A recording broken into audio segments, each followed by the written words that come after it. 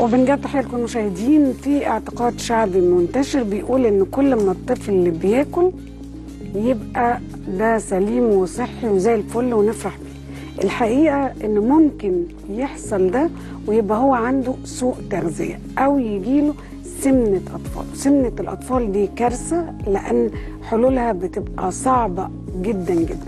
عشان كده يمكن الدولة عملت مشروعات كتير جدا بتحارب سمنة الأطفال في المدارس و يعني عاملة خطة كبيرة عشان معاناة ملايين الأطفال من السمنة هل سمنة الأطفال دي ليها علاج؟ هل في جراحة؟ يعني إيه جراحة؟ يعني معقولة في الأطفال اللي ممكن يتعمل لهم الحاجات اللي ممكن تحصل للكبار في السمنة وأسئلة كتيرة جدا هنعرفها من ضيفنا اللي منورنا النهارده استشاري جراحات السمنة المفرطة والمناظير دكتور نادر ناصف. أهلا بحضرتك. أهلا وسهلا. أهلا وسهلا دكتور نادر. أهلا وسهلا. يمكن زي ما شوير قالت في الانترو أنا لو أنا عندي طفلي مليان وعنده سمنة آخر حاجة هفكر فيها إن أنا أروح أقول للدكتور إلحقني أعمل له عملية. ليه؟ هبقى مرعوبة. هبقى قلقانة. آه هو أنا ما ينفعش يا دكتور أنزله بالدايت؟ إيه الحاجة اللي تخليني أجي أجيب ابني وآجي لحضرتك أقول له أقول لك لا لازم نعمل له عملية. طيب وأنا كمان معاكي إنه آخر حاجة. أعملها لابني هو ان اعمل له عملية. أوكي. متفق تماما يعني. بس لازم نفهم الأول السمنة. السمنة approved وبتقال عليها من سنين فاتت. it is a disease هو مش فرق مقاس مش فرق آه، هدوم مش فرق كده خالص. obesity إيه ده is disease disease ده يعني مرض ليه مضاعفات. يعني لك أن تتخيلي إن معايا اليومين دول طفل 10 سنين. سكره ابتدى يلخبط كوليستروله ابتدى يبقى عالي ضغطه ابتدى يبقى عالي نفسه ابتدى يبقى مش حلو. ما هي مش بس مرض هي بوابة لأمراض كتير تانية. بالظبط كده بالظبط كده. فهنا دي الفكرة. ففكرة إني أقول إن أنا هخ- اخليه ياكل صح أو يمشي على دايت أو يعمل nutrition طبعا دي حاجة ممتازة. بس لغاية إمتى؟ يعني هل هفضل جنب الطفل سنة واثنين وثلاثه عمال يقول إن شاء الله هيبتدي يخس وهو فعليا ما بيحصلش أي حاجة خالص؟ طب هل أنا بعمل تحاليل أعرف كوليستروله أخباره إيه سكره أخباره إيه فيتامينز أخبارها إيه؟ لأن دي حاجة مهمة جدا. إن في برضه اعتقاد شعبي سائد سيبيه بس لما يكبر هو هيخس. هو هيفرض نفسه. و- وده- الجسم هيفرض نفسه. وده فعليا ما بيحصلش خالص. يعني العلم بيقول لنا إن 55% من الأطفال بيوصلوا يبقوا شباب 10 20 سنة تخان برضه هو, وبعدين هو منها- أنا أعرف إن الطفل عنده سمنة لما يبقى إيه؟ آه. لما يبقى وزن. تحاليله بتبقى شكلها عامل إزاي عشان اخد القرار ده؟ طيب خلينا الأول نقول إن إحنا الحاجة السهلة لينا إن إحنا نحسب ما يسمى بال body mass index معامل كتلة الوزن. أقسم وزنه على مربع الطول بتاعه. لكن في الأطفال عندنا إحنا كدكاترة بنعمل حاجة اسمها centiles دي زي graph كده آه، رسم بياني برسم عليه الطفل في السن ده بالطول ده المفروض يبقى قد إيه. عشان كده لما بنتعامل مع سمنة الأطفال دايما بنفكر بطريقة ال team ما ينفعش أكون أنا لوحدي دكتور نادر تيجي الأم عايز أعمل عملية يلا نعمل عملية. لا خالص. أنا عايز دكتور nutrition معايا دكتور غدد صماء وده فعلا اللي إحنا بننفذه. حتى ال- العيان بيظهر لمين فينا الأول؟ بيروح له عشان يطمن إنه لو جاي معاه nutrition طبعا يا ريت. لكن هي دي بقى اللي أنا بقولها. nutrition لمدة قد إيه؟ ست شهور؟ سنة؟ طب في تأثير؟ في إن شاء الله كيلو واحد بيتخس في الشهر؟ ولا لأ؟ ده عمال يزيد وعمال يزيد أكتر وعمال يلخبط أكتر. فيبقى وزن وطول بالعلاقة ببعض زائد شوية تحاليل. معنى كلام حضرتك إن أنا ألجأ للعمليات الجراحية للأطفال لما ألاقي إن لا في زيادة لا في نقصان وفي زيادة في الوزن أكتر كل شوية ولما أجي أعمل التحاليل ألاقيها ملخبطة أكتر وأكتر فابتدي آخد القرار. هما نقطتين عدم وجود استجابة زائد ظهور المضاعفات. طيب أنا جيت لك بقى. أوكي. تحديد إيه اولا إيه هي العمليات اللي هتتعمل اللي أنا اعرف ان إحنا في الكبار إحنا عندنا ال sleeve وعندنا البالونة وعندنا آه آه تغيير تحويل مس... الكبسولة تحويل مسار والكبسولة المسار. صح صح. ده إحنا عارفينه صح. بالنسبة للأطفال 70 80% من الحاجات دي بينفع تطبق في الأطفال مفيش مشكلة يعني أنا أعمل للطفل تكميم معدة؟ اعمل للطفل تكميم معدة الكتاب بيقول direct من أول 12 سنة مفيش مشكلة من أول 11 سنة مفيش مشكلة. قبل قبل ال 10 سنين مش أول حاجة خالص هفكر فيها هي عملية خالص. بس لحضرتك لما ساعات بيظهر لنا حالات لازم نتعامل معاهم.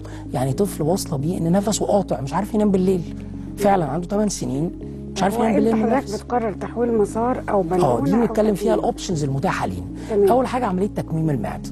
عملية تكميم المعده عملية بسيطة لطيفة بالمنظار. النهارده بقت بتسمى كأنها زي ما واحد يخش يعمل مرارة كده. هم نفس عدد الفتحات. ال easiness بتاعها سهل جدا الحمد لله. بشيل الحتة دي. فلما أشيل الحتة دي يتبقى دي بس في المعدة. فيبقى شبعان على طول. قادر يسمع الكلام. دكتور ال nutrition هيكمل معاه يشرح له ياكل إيه يركز على البروتين والحاجات المفيدة. بس ده 12 سنة. آه.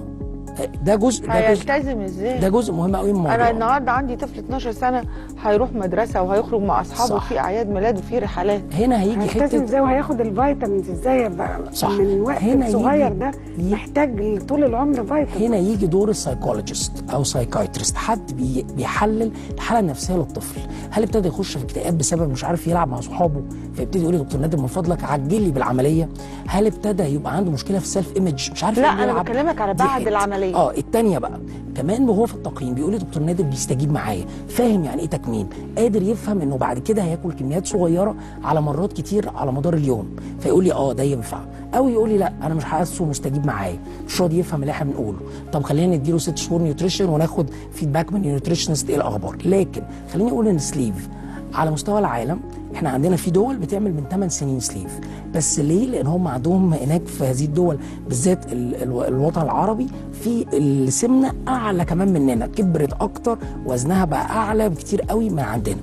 بس السليف ده لازم ما يكونش ليه في السكر ما بيحبش السكر. صح ده مش بس صحيح. كده. لأن السكر ده يعني هفسد آه. العملية ومش بس كده حتى لو ماليش في السكر مع الوقت وبعد مرور أربع خمس سنين بيرجع الوزن يزيد شوية بنسبة 5 8 كيلو. حلو قوي. خلينا متفقين إن مفيش أي عملية في الدنيا ولا حاجة تتعمل للوزن. بيجي معاها كده ضمان جارنتي إن أنا عمري ما هتخن تاني. الناس دايما تكلمني سواء الكبار أو الصغيرين عايز آكل اللي أنا عايزه كله وما اتخنش ده مش موجود. في ولا بس أنا. عاملة سليف حتى لو عاملة. أنا بعمل حاجة الناس يقول لك يا تساعدني. دكتور ده أنا عاملة هي بعمل حاجة تساعدني. فتشجعني فكأنها بتعمل reset لكل الوزن بتاعي. يعني أنا معايا شاب دلوقتي كان 18 سنة. أوكي. 185 كيلو. أوكي. النهارده هو وزنه 95 كيلو. عشان عمل إيه؟ 185 185 كيلو. عمل إيه؟ عمل sleeve بس ال sleeve بت- بآخرها 30 كيلو. أنا بقول لحضرتك ابقى تصور معانا ممكن نتفرج عليه لا يعني أنت حياته أنت كلها ساع- اختلفت. ساعدته إن هو يتخطى ال sleeve مش بعد آخرها 30 كيلو. السليف بتخسس 50 ل 80% من الوزن الزيادة. فهو ده عشان وزنه الزيادة. لا يا دكتور والله ابدا. ده في ناس كتيرة جدا يا دكتور بيتصدموا لما بيتعملوا بيعملوها بتبقى 30 كيلو بس ويقعدوا يشدوا لا يشدوا بالراحة بس. بالراحة. إحنا الكتاب بيقول لنا ما مش عايزين ناخد حد حصل معاه حاجة ونقول هو ده اللي بيحصل. أنا لازم آخد كلام الكتاب لأن كلام الكتاب هو الإحصائيات. جاب 100 عيان 1000 عيان كلهم عملوا. ويبتدي يقول بيخسوا قد إيه من الوزن. دي الصورة قبل دي وبعد؟ مثلا الصورة قبل وبعد. 185 كيلو. النهارده هو 95 ده عاملها. إمتى بقى؟ ده عاملها بقاله دلوقتي يمكن سنة ونص دلوقتي. سنة ونص. طيب إزاي بقى هو بعد هذا الشاب الوسيم بعد ما عمل العملية دي هو عنده 18 سنة؟ آه 19 دلوقتي. 19 يفضل محافظ ولما هيزيد شوية صح. نعمل إيه؟ صح. أول حاجة ناخد بالنا دايما على طريقة أكلنا ونفهم إن إحنا ما عملناش سحر ولا كبار سحر ولا صغيرين سحر. هو اتس بوش وأنا محتاج ليا دور. ما فيش على فكرة حتى تحويل المسار. أي حد مش ناوي يلتزم ولو بنسبة صغيرة خالص يقدر يبوظ بسهولة قوي العملية بتاعته. الالتزام والمجهود. الجهاد. طبعا المجهود ده لازم. أنا عندي سؤال اتفضلي. هو أنا ممكن واحد يعمل سليف وبعد شوية بعد السليف ده يعمل بالون لا ما ينفعش ليه يا دكتور؟ لأنه البالون بتعتمد على الحتة دي اللي اسمها الفندس اللي هي اللي فوق دي في. المعده هي البالونة والكبسولة يروحوا يقعدوا فيها فأنا شلتها أصلا آه فما ينفع لكن لو حضرتك سؤالك إن آه. حد عامل سليف ورجع تخن شوية أعمل له إيه؟ آه. في أدوية دلوقتي موجودة بت... بتدي تعلي هرمون في الجسم زي بالظبط ما السليف كأنها لسه معمولة دلوقتي واو. فبالتالي حلو. يعني يعني بيجي لي عيانين كتير حتى من الكبار اللي رجع تخن شوية بس ده هرمون إيه؟ هرمون مضر. no خالص. بيشتغل على حاجة واحدة بس الجوع. على مركز الشبع في المخ أوكي. آه، هرمون مش ملوش- حاجة ملوش تنفذ. علاقة بأي حاجة تاني في المخ. و safe يا دكتور. safe تماما FDA approved يعني كل الناس تقدر تاخده ده. ولا؟ أنا هاخد منك الاسم ده عشان. خاطر أنا أنا هاخده. ما أنا عارفة أنتوا هتقولوا لي إيه فأنا بقول لكم من قبلها. هاخده واقوله لكم. تمام. انت بس نسأله كل الأسئلة المتاحة. سليم يا دكتور. سليم. مش هيحصل له أي مشكلة يا دكتور. FDA approved هنبقى كده شركة عظيمة معروفة. وخساسين البالونة بقى إيه؟ البالونة والكبسولة. البالونه والكبسوله طفل. إيه الفرق بالنبي عشان آه الفرق في طريقة التركيب آه، بس بالظبط. يعني دي ممكن تبقى بالونة أو كبسولة نعتبرها كده. إزاي دي؟ آه الكبسولة اتاخدت وأنا صاحي عادي خالص قاعد في العيادة. نزلت في المعده صورت أشعة طمنت إنها موجودة. آه، شربت مية دوبت الكتل اللي حواليها فهي جواها دي مطبقة على نفسها. أيوة. ببتدي أمليها أملاها آه ابتدي أملاها بت- ب tube صغيرة خالص داخلة لحد ما أملاها أخليها كده وأروح شاد ال tube دي. والشخص صاحي مفيش أي حاجة خالص. مجرد بيبقى متضايق شوية لكن مش محتاج ينام ولا أي حاجة. دي الكبسوله كبسولة فيها membrane هنا كده بيدوب لوحده بعد أربع شهور وتقع كلها. فبالتالي. ولا في تركيب ولا في شيل. يعني أربع شهور بخس مرة بقى يا. دكتور. واحدة صاحبتي عملت كده اشرح لنا الحالة دي. okay قالت لي يا مفيد أنا خدت الكبسولة وأنا من ضمن يعني الك- الكبسولة بتنجح مع كل الناس. قوم حصل لها إيه بقى؟ وقفت الكبسولة على قلبها عارف انت راح هنا فبتقول لي إيه؟ ماما هي روحت أو حاسة إن في تقل تعبها وبعد كده آه، أكلت مش تعبانة بعدين حصل التهاب. ده بيبقى عيب إن الدكتور ما اهتمش زي ما حضرتك بتقول ولا عيب إيه. طيب هو الناس دايما بتدور على حاجة تحل لها المشكلة تحل الضغط والسكر والكوليسترول وكل الحاجات دي بس بدون أي risk بتاع أي حاجة. okay. Which doesn't exist خالص. مفيش حاجة في الدنيا كده. بمعنى أنا بحط بالونة في 100 عيان في okay. اتنين منهم ما قدروش يستحملوا مضايقة البالونة في معدتهم فجه يقول لي شيل لي البالونة. أنا مش قادر أنا متضايق. هو ما جرالوش حاجة بس هو متضايق من الإحساس ده. نسبه أكبر من كده شوية. مفيش في ناس مشكلة. كتير بتتضايق. بتبقى إيه الإحساس أول من أسبوع من البالونة أو الكبسولة أول أسبوع فعلا بيبقى فيه مغص وسنة غممان النفس بسيط. الشخص لازم يبقى متبلغ عنها دي حتة مهمة قوي في كل الحاجات اسمها patient education لازم العيان من هو في العيادة من قبل ما يركب إن حاجة أنا كل مستحمل لمدة أسبوع. وعارف إن آه. أنا هبقى تعبان زي أي حاجة يعني أنا. كان عندي طفل 12 سنة هيركب بالونة شارح له كل ده. الصبح يوم العملية أنت جاي ليه عشان كذا؟ هيحصل لك إيه؟ كذا. انت هتستحمل الأسبوع الاولاني آه هستحمل. كده هو. لكن النسب بقى اللي توصل لإنه ترجيع أو التهاب أو كده هو الكبسولة. على قد حلاوتها دي كلها فيها عيب إن أنا ما بشوفش المعدة بعيني. البالونة أنا بخش بالمنظار وأشوفها بعيني فمثلا لو فيها التهابات أروح قايل دي مش هينفع إنه أركب مثلا عليها آه بس بالونة. ما بتبقاش دارس المعدة هنا مش شايفها خالص. وممنوع لأي حد لامس معدته بأي جراحة أو بأي أو كان عنده قرحة في المعدة أو كل الكلام ده أو طول النهار بيشرب سجاير على آه، كمية آه، اسمه إيه ده آه، قهوة. كتير حاجات كلها اللي بتعمل التهابات معدة. طب ال- ال- البالونة آه فدول يقدروا يخسسوا الشخص حوالي 15 كيلو ما يقدروش يخسسوا أكتر من ما كده بيرجعش تاني بقى؟ مفيش حاجة. أنا أنا قلت في الأول لا بيرجع. لو ما التزمناش إحنا هيرجع. إحنا في أكلنا عندنا جزء في المعدة وجزء هنا. ده أنا ما بعرفش أشتغل عليه. طب أنا بشتغل على ده. طب اسمع الإشاعة دي. يعني. اسمع الكلام ده. قول. بيقول لك إيه؟ بيقول لك يا دكتور لما تركب البالونة آه بتخسر 15 كيلو. ماشي. بس بقى لما بتنزل okay. بتسيب مكانها. ما هي كانت موجودة في مكان. والله مش- ممكن. يبان تافه. بس okay. والله ده لا، الكلام بيحصل في الشارع. تمام. فلما هي بتنزل بعد أربع أشهر بتبقى سايبة المكان بتاعها كده. فالمكان ده بقى هيتملي إيه؟ أكل. فبنرجع ندخل تاني. حلو.